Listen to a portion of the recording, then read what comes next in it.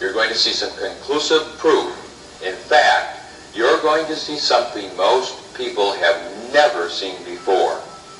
Through the use of a dark field microscope and video technology, it is now possible to see live blood samples, display them on a monitor, record them on tape.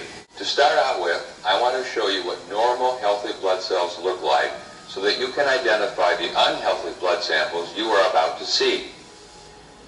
This healthy living blood shows the red blood cells to be round, evenly shaped, and freely floating in plasma. There are no signs of clotting, bacteria, foreign matter, fungal, or stress. This is a kind of blood a healthy person should have flowing through the circulatory system. This is the blood of one of my patients right at the time when he came to see me at the clinic.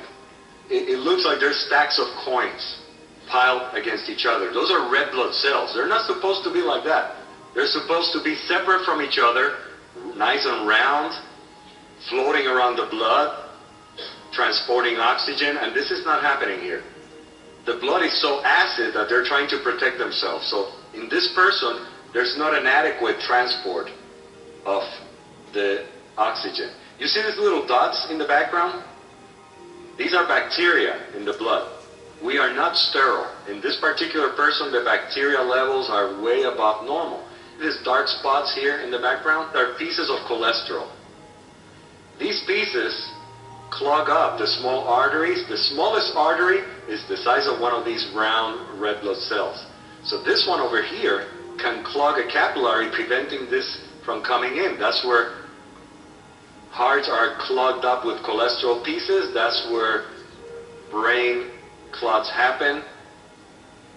And these are blockages that happen from these pieces. Bacteria continue increasing the acidity, making the problem worse. Here's a white blood cell. It looks very unhealthy. This short video shows how live blood microscopy can be used to help people.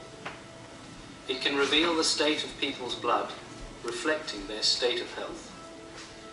It can demonstrate how careful food supplementation can lead to significant changes in the blood and to better health. Live blood microscopy is a method which can be used to assess a person's nutritional status. It is also a powerful tool for patient education and motivation.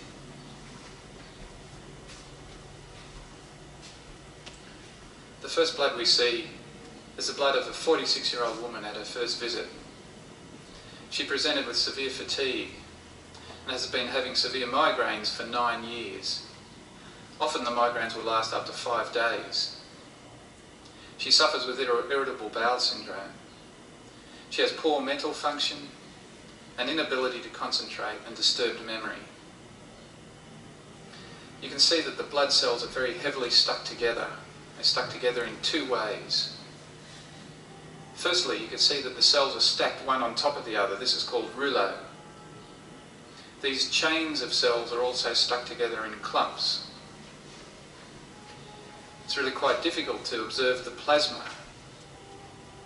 But when we can see the plasma, spicules is present. And there is debris in the plasma as well. On her second appointment five months later, the woman was much less fatigued. Her digestion had improved considerably.